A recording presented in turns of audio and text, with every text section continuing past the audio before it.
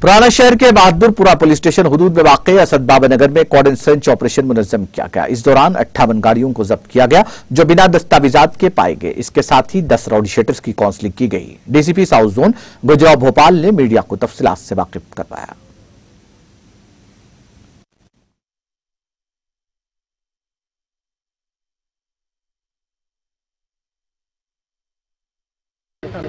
पूरी तेलंगाना स्टेट में गांजा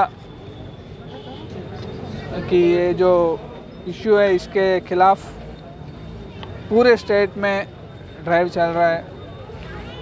पिछले हफ़्ते ऑनरेबल चीफ मिनिस्टर साहब की मौजूदगी में मीटिंग लगाई गई और सभी को साफ़ साफ़ बताया गया कि ऐसी गांजा जैसी नशीली सब्सटेंस को किसी की हालत में तेलंगाना स्टेट में इजाज़त नहीं होगी।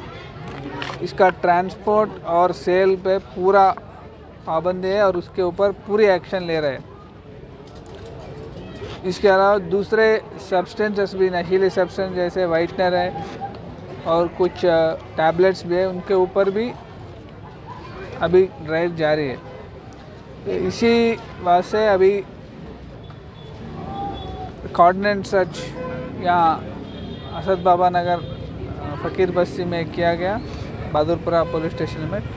इसके अलावा यहाँ पे एक साल में जो राउडी ऑफेंसेस हुए, उनके ऊपर भी ये ड्राइव चलेगा।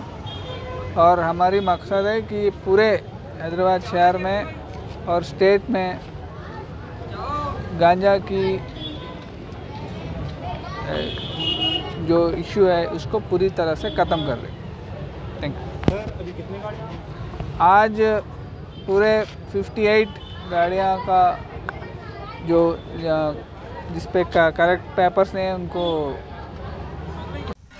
नाजरीन, हमारे टीटीवी न्यूज़ को सब्सक्राइब करिए बेल आइकॉन को प्रेस करिए शेयर करिए और लाइक करना ना भूलें। और किसी एडवर्टाइजमेंट से मुतालिक जानकारी के लिए हमारे इस नंबर पर कांटेक्ट कीजिए। हमारा नंबर है nine double five zero one zero two zero two zero